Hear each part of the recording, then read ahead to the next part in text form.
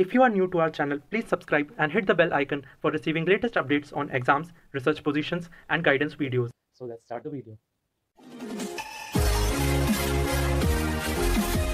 Hey guys, welcome to Inspire Chemistry. So today in this particular video, I will give you another very important update about आइजार Tirupati तो आइजार का नाम सब तो सुना होगा आइजार्स जो जो इंस्टीट्यूट है ये स्पेशली रिसर्च के लिए बनाया गया तो यहाँ पर सारे आइजार्स अच्छा है, उसमें से टॉप जो जो आइज़र्स है, IISER Kolkata, IISER Pune, IISER Mohali, IISER Bhopal, ये सब अच्छा है।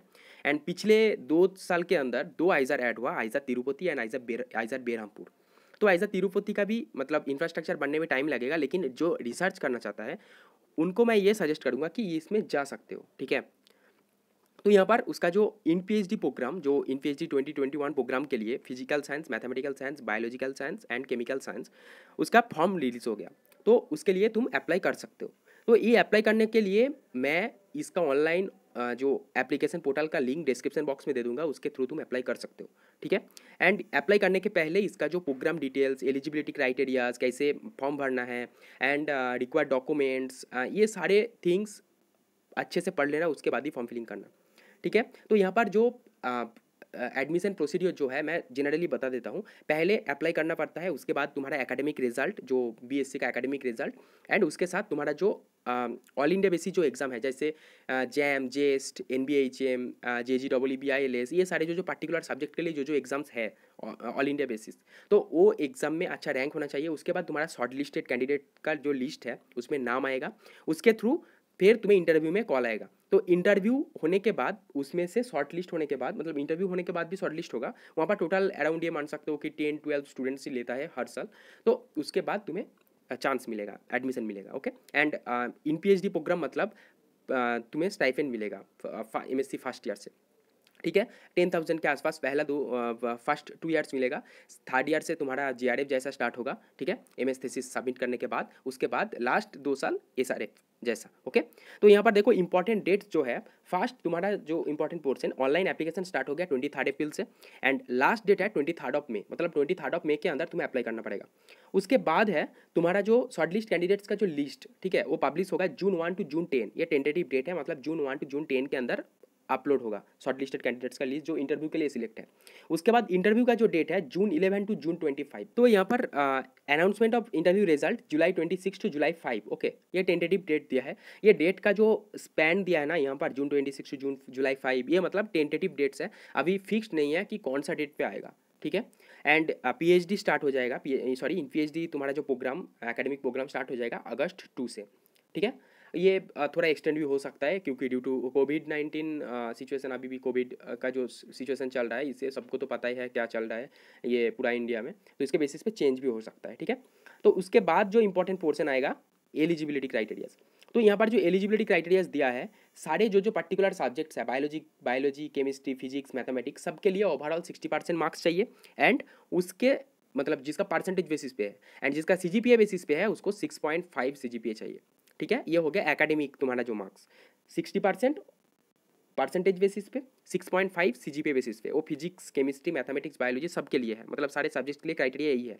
एंड एसेंशियल क्राइटेरियाज में है जो ऑल इंडिया बेसिस पे जो एग्ज़ाम्स जैसे बायोलॉजिकल साइंस के लिए बायोटेक्नोलॉजी जैम का रैंक अच्छा होगा तो तुम अप्लाई कर सकते हो. जिसका rank eight hundred to one thousand के अंदर है, वो अप्लाई कर सकते हो. ठीक है?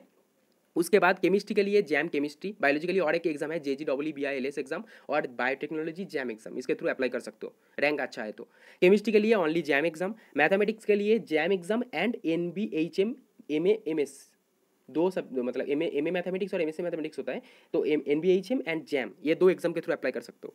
फिजिक्स के लिए भी JAM exam and JEST exam ये सारे ऑल इंडिया बेसिस एग्ज़ाम है, इसके थ्रू अप्लाई कर सकते हो। तो यहाँ पर जो कुछ जनरल इन्फॉर्मेशन है, जैसे यहाँ पर देख सकते हो कि the candidate must have qualified at least one of the above mention essential criterias in the relevant discipline मतलब जो मेंशन है, उसके एटलीस्ट वन तुम्हें वहाँ पर क्राइटेरिया फुलफिल करना है, ठीक है? उसके बाद यहाँ पर जो जो एस सी एस टी ये पी डब्ल्यू डी सबके लिए यहाँ पर कुछ रिलैक्सेशन है five percent relaxation C G P A point five या फिर परसेंटेज बेसिस पे फाइव परसेंट रिलैक्सेशन है। मतलब जनरल के लिए सिक्सटी परसेंट है तो S C S T and P W D के लिए है fifty five percent C G P A general के लिए है six point five general and O B C I think S C S T P W D के लिए है six okay and यहाँ पर दिया है लास्ट और इनकम्प्लीट सॉरी लेट और incomplete application will not be considered मतलब लेट कर दोगे ट्वेंटी थर्ड मे के बाद अप्लाई करोगे या फिर इनकम्प्लीट रहेगा कुछ तो कंसिडर्ड नहीं रहेगा। मतलब कंसिडर नहीं करेगा। एप्लीकेशन जो तुम्हारा फॉर्म है कैंसिल कर दिया जाएगा। उसके बाद एप्लीकेशन प्रोसीड्योर का यहाँ पर लिंक दिया है बायोलॉजी के लिए ये लिंक केमिस्ट्री के लिए है फिजिक्स के लिए है मैथमेटिक्स के लिए। तुम जो सो, जो जो सब्जेक्ट से बिलोंग करते हो, वो लिंक क्लिक करो एंड फॉर्म लिंक कर दो। उसके बाद यहाँ पर डेडलाइन ट्वेंटी थर्ड में सिलेक्शन प्रोसीड्योर फ़र्स्ट तुम्हारा एकेडमिक कैरियर मतलब तुम्हारा जो बीएससी रिज़ल्ट एंड उसके बाद ऑल इंडिया बेसिस पर जो एग्ज़ाम है, उसके बेसिस पे शॉर्टलिस्ट किया जाएगा। उसमें नेम आ गया। तो उसके बाद तुम्हें इंटरव्यू देना पड़ेगा। एक ऑनलाइन इंटरव्यू होगा। देन तुम्हारा सिलेक्शन कन्फर्म होगा। ये अथॉरिटी जो सिलेक्शन प्रोसीड्योर के लिए जो मतलब सिलेक्शन जो अथॉरिटी है, उसके ऊपर डिपेंड करता है। तुम्हारा परफॉर्मेंस कैसा है देन तुम्हारा सिलेक्शन होगा। ओके उसके बाद देखो फेलोशिप यहाँ पर लिखा नहीं क्या होता है। मैक्सिमम मैं देखा कि सारे आइजर्स के लिए मतलब आइजर भोपाल आइजर मोहाली आइजर त्रिवेंद्रम ये सब के लिए टेन थाउज़ेंड पर मंथ देता है फ़र्स्ट टू ईयर्स तो यहाँ पर भी सेम होगा आई थिंक ओके तो यहाँ पर आ, देखो फ्रीक्वेंटली आज क्वेश्चन में दिया है कि तुम एम के बाद नहीं छोड़ सकते हो मतलब दो दो तीन साल बाद नहीं छोड़ सकते हो तुम्हें सात साल कंप्लीट करके छोड़ना पड़ेगा। तो जो स्टूडेंट रेडी है सात साल पूरा कंप्लीट करने के बाद मतलब एम एस एक साथ करने के लिए वही अप्लाई करो ओके दो साल या फिर तीन साल बाद नहीं छोड़ सकते हो। उसके बाद यहाँ पर आ, मास्टर जो फ़र्स्ट ईयर स्टूडेंट्स हैं, वो भी अप्लाई कर सकते हो, चाहे तो। एंड और भी यहाँ पर फ्रिक्वेंटली आज क्वेश्चन दिया है, ठीक है? मतलब एक से ज़्यादा सब्जेक्ट में भी अप्लाई कर सकते हो कि इफ़ योर एसेंशियल क्राइटेरियाज जो जो है वहाँ पर, जो all India basis exam and C ये सब मैच करता है तो एक से ज़्यादा सब्जेक्ट में भी अप्लाई कर सकते हो। ये सारे फॉर्म का मतलब ये लिंक डिस्क्रिप्शन बॉक्स में रहेगा, ये अच्छे से पढ़ लेना, उसके बाद फॉर्म फिलिंग करना।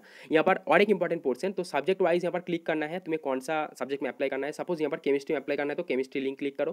क्लिक करने के बाद देखो, यहाँ पर एक पेज ओपन हो जाएगा, यहाँ पर नेम ईमेल आईडी वगैरह सब कुछ पूछेगा। For chemistry integrated PhD admission August 2021 तो यहाँ पर नेम डालना है फ़र्स्ट नेम लास्ट नेम उसके बाद ईमेल आईडी डालना है, उसके बाद तुम्हारा टेलीफोन नंबर है तो टेलीफोन नंबर डालना है, उसके बाद एड्रेस जो स्टार मार्क्ड है, उसको डालना ही है, क्योंकि वो कॉम्पल्सरी है, वो नहीं डालोगे तो फॉर्म फिलिंग नेक्स्ट स्टेप में नहीं जाएगा, ओके? जो स्टार दिया है, रेड कलर का जो स्टार, यहाँ पर देखो डेट ऑफ़ बर्थ में स्टार दिया है, ये ऐसे। तो यहाँ पर डेट ऑफ़ बर्थ डालना है, उसके बाद जेंडर डालना है, नेशनलिटी डालना है तो पी हो कि नहीं, ये सब, उसके बाद नेक्स्ट डालना है। उसके बाद step by step IISER Kolkata और उसके जैसा ही फॉर्म फिलिंग करना है, ठीक है? कुछ प्रॉब्लम होगा तो कमेंट कर सकते हो। सी बी सी बी यहाँ पर मांगे तो ये कमेंट करना। मैं जो सी बी बनाया था, उसके बेसिस पे मैं वीडियो मतलब एक वीडियो बना दूँगा कि कैसे सी बी लिखना है, ठीक है? तो ये है इंपॉर्टेंट पोर्सन तो आइजर तिरुपति अच्छा है। अप्लाई कर सकते हो। मतलब जो जो स्टूडेंट्स को अच्छा आईआईटी अच्छा एन नहीं मिल रहा है, वो अप्लाई कर दो। जिसको अच्छा एन मिल रहा है या फिर कुछ भी आईआईटी मिल रहा है, उसके लिए ठीक है अप्लाई करने का ज़रूरत नहीं है। और जिसको कुछ नहीं मिल रहा है अभी तक तो आइजा तिरुपति के लिए अप्लाई कर दो okay so that's all please share this video with your friend that can help your friends also and give some important updates also so thank you for watching see in the next video